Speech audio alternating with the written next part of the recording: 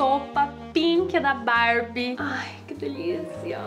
Olha a cremosidade dessa sopa. Oi, querida! Meu nome é Luísa Junqueira, esse aqui é o maravilhoso canal Tá Querida? E hoje eu vim surfar na onda da trend da Barbie, gente. É irresistível você fazer uma receitinha cor-de-rosa usando beterraba pra deixar tudo cor-de-rosa. Fica tão bonito, comidinha rosa. E eu tenho uma receita de uma sopa cor-de-rosa que é muito maravilhosa. Eu falei, ah, não posso deixar de passar. E para fazer essa maravilhosa sopa da Barbie, você vai precisar de beterrabas. Estou usando cinco beterrabas. Couve-flor, ah, como eu amo. Alho poró. E aí também vai manteiga, farinha, ou azeite, sal, temperinhos e muito amor. Então eu vou começar assando as beterrabas e gente trago novidades aqui nessa, nessa cozinha desse canal, que é que agora eu tenho um air fryer, gente, aí eu vou assar a beterraba na air fryer. Eu já testei isso antes e dá certo. É só colocar a beterraba inteirona, sem descascar, na air fryer por pelo menos 15 minutos que ela assa e depois você só descasca, entendeu? Porque a casca vai fazer às vezes do papel alumínio. Gente, que praticidade um negócio desse, ó. Ó, ó. Você coloca no, na água pra cozinhar, ela vai perder muito do sabor, então o negócio é você concentrar o sabor. Colocar fogo baixinho pra ela cozinhar legal. 150, se precisar aumentar, depois aumenta. Eu vou colocar aqui 15 minutos. Se precisar, depois põe mais, entendeu? Outra novidade da cozinha, que eu estou passada, que já não era sem tempo, né, pessoal? Pra quem me segue e acompanha as receitas sabe, é o fogão. Antes eu tinha um fogão surradinho, viu? De terceira, quarta mão, que tava, olha, tava tadinho. Foi com Deus. E aí foi uma parceria com o Melhor Para Você, que é um vendedor que tem nos maiores marketplaces do Brasil. Você digita lá no, no seu marketplace de preferência. Melhor Para Você, eles têm uma curadoria de produtos maravilhosos. E aí a gente fez essa permuta de conteúdo em troca desses produtos incríveis que completou a minha cozinha. E assim, nem tava na permuta fazendo no YouTube. Eu tô fazendo só porque eu gostei muito mesmo mesmo, porque é cheio de coisas, cheio de novidade aqui nessa casa. Vamos cortar o alho poró. Hoje eu vou fazer só com a parte do talo tá, gente? Não me julguem, tá? Isso aqui eu não vou desperdiçar, eu vou usar em outra coisa. Vou, depois vou pôr na air fryer. Relutei em ter uma air fryer até o último momento, assim como eu relutei fazer conteúdo Barbie Girl até o último momento, porque eu sou dessas, entendeu? Eu vejo uma tendência, eu passo, quero passar longe. Aí só que chega uma hora que a tendência vira o o status quo, entendeu? Virou grande mainstream. É, então bora, né? Então vamos. E foi assim com Air Fryer. Eu tinha várias questões, achava que ia ser um grande trambolho, mas é o grande trambolho que faz as coisas tão gostosinha, rapidinha. Nunca achei que fosse ser fazer Air Fryer e agora eu tô até querendo fazer uma série de Air Fryer, de receitas de Air Fryer. Vocês apoiam? Você tem receitinha boa pra me passar? Deixa aqui nos comentários. Então vamos começar aqui pelo alho poró.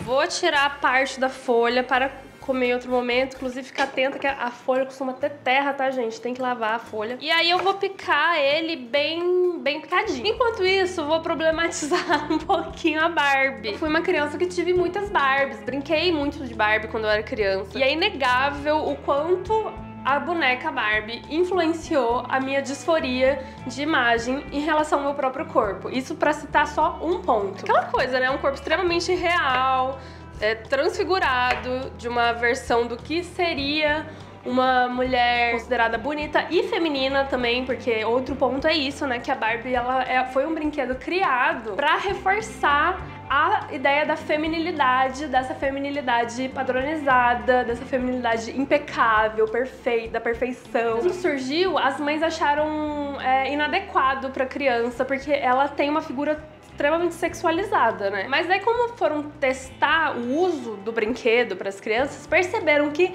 meninas que eram menos feminilizadas começaram a querer se feminilizar mais a partir do que ela se identificava ali com aquela Barbie. E aí que o mercado viu uma oportunidade de usar desse brinquedo como uma ferramenta justamente para criar esse imaginário da feminilidade padrão. Só aí, gente, a gente já percebe quanto esse brinquedo fez um, um grande estrago, assim, sabe? É uma coisa muito doida na psicologia, né? no, no emocional e na autopercepção de muitas meninas que depois viraram muitas mulheres com muitas questões de autoimagem, né? Não só de autoimagem, como também essa coisa dessa performance, dessa feminilidade que tem que atender a esse padrão, enfim, várias questões. Mesmo tempo, era um brinquedo que me permitia também desenvolver narrativas, desenvolver ali uma, cri uma criatividade na hora de construir a roupinha. Eu sou uma pessoa que sou super lookista, independente de ser feminilizada ou não, sempre fui lookista. E a Barbie me ajudava também a a, desenvolver essa criatividade, de certa forma, sabe? Eu customizava as minhas Barbies. Eu tinha uma Barbie que ela era toda punk rock, assim, que eu metia um monte de alfinete nela, pintava cabelo. Aí eu tirava maquiagem com acetona, fazia outra maquiagem, costurava as roupinhas, pegava retalho de tecido, criava minhas próprias roupas, criava um cenáriozinho, então improvisava ali uma caminha. E aí só depois de adulta que eu comecei a problematizar isso, porque eu lembro que eu achava eu me, eu me sentia super inadequada. E eu era uma criança totalmente desfeminilizada. Tava lá, tipo, com a minha camiseta do Angra, tipo, bermudão e brincando com, a, com as Barbies, assim. Era uma, era uma coisa até engraçada, eu acho, de ver. E, obviamente, minhas Barbies todas, grandes bissexuais, pansexuais, se beijavam, as Barbies beijavam a outra Barbie. Mas assim como a Barbie serviu, prestou esse papel da construção da feminilidade no início, assim, eu acho que também para muitas mulheres, muitas meninas, também prestou um papel de permitir ser, né? Tem essa coisa da Barbie poder ser o que ela quiser, a Barbie astronauta, a Barbie contadora. Não tem a Barbie contadora, né? Podia ter a Barbie contadora. Barbie veterinária. Até minha garrafinha rosa, gente, hoje ficou ali a beterraba. Eu odiava a rosa justamente por, por trazer essa carga dessa feminilidade padrão e eu queria rejeitar e negar tudo isso na minha infância e adolescência. Então eu nunca fui muito do rosa. Aí eu ganhei essa garrafinha rosa e eu amo hoje em dia a rosa, porque é uma cor, é só uma cor. Alho poró todo picadinho. Agora a gente vai para a panela aqui nos corredores, como sempre, né, gente?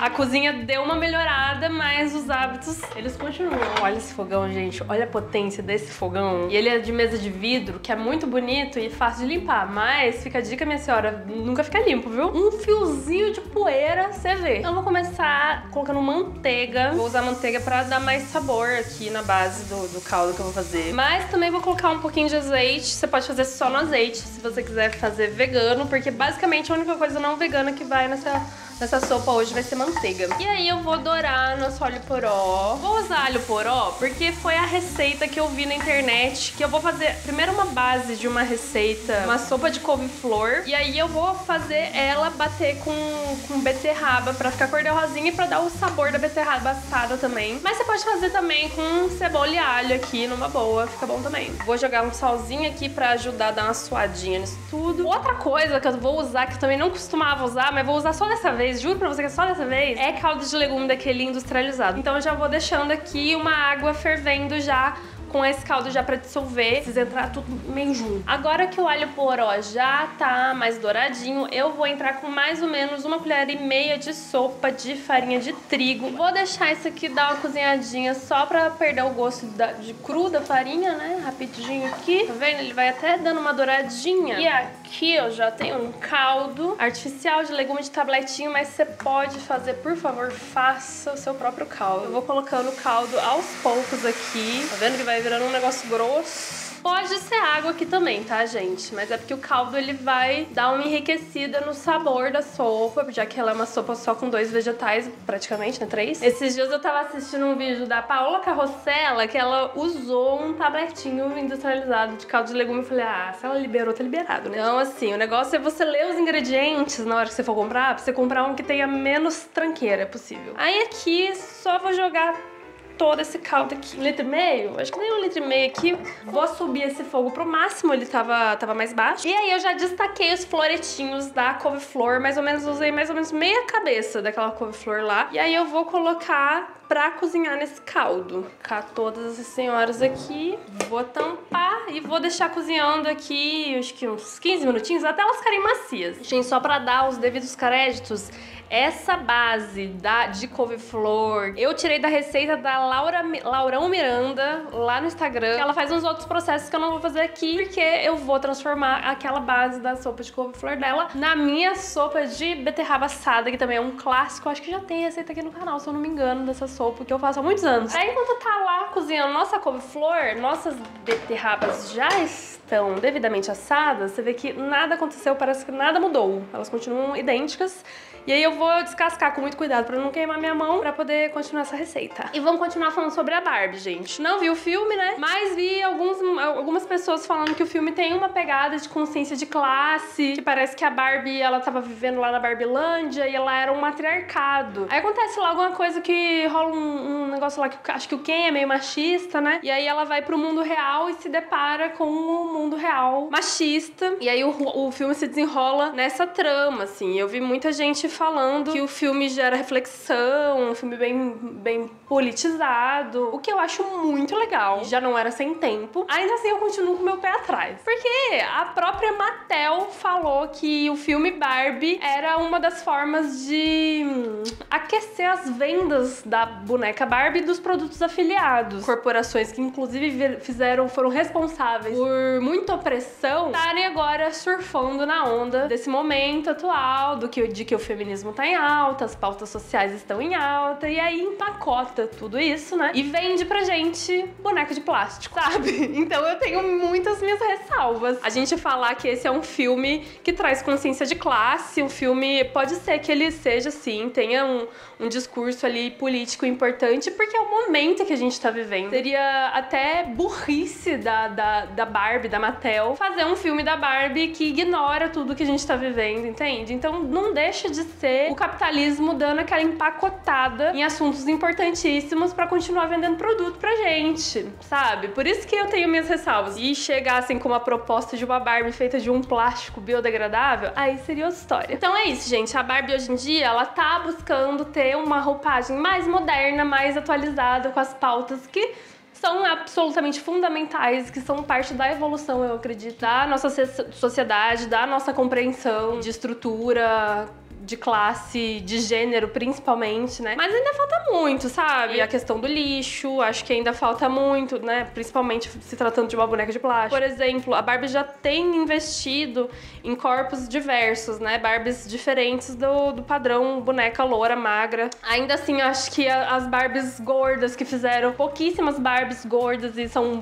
pouco gordas, entendeu? Elas só não são um corpo absurdamente real. Tem duas personagens só gorda no filme inteiro, é até onde eu fiquei sabendo, então acho que ainda tem muita coisa para melhorar antes da gente ficar enaltecendo e falando que é um filme que traz uma super questão política, porque no final das contas eles querem vender. Problematizei e enalteci também, tá? Então vou continuar aqui descascando minha beterraba pra gente continuar a receitinha. Beterrabinhas descascadas, tirei o topinho e agora eu só vou cortar grosseiramente, só pra depois facilitar na hora de liquefazer. Ó, a couve-flor já está super molinha, já tá no ponto de ir pro liquidificador. Vou colocar com cuidado isso aqui tudo no liquidificador, sem derrubar, tá, minha senhora?